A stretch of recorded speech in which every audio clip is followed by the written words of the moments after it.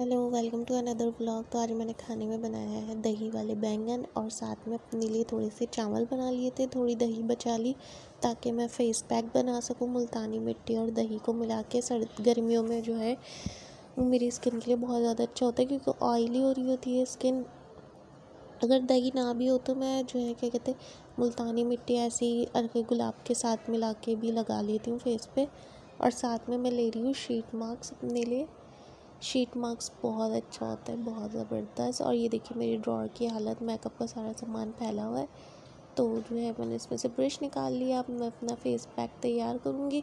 उसके बाद घर की सफ़ाई मतलब घर की सफ़ाई तो हुई हुई है, बस चादर चेंज करनी थी बेड की और ये ड्रॉर साफ़ करना था, मेकअप का वो करूँगी।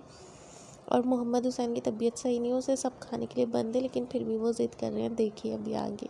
देखो इधर देखो वीडियो बन रही है रोते हुए। क्या खाना है? बिरयानी खाएगा बिरयानी। तबीयत खराब है ना? नहीं मिलेगी नहीं मिलेगी बिरयानी।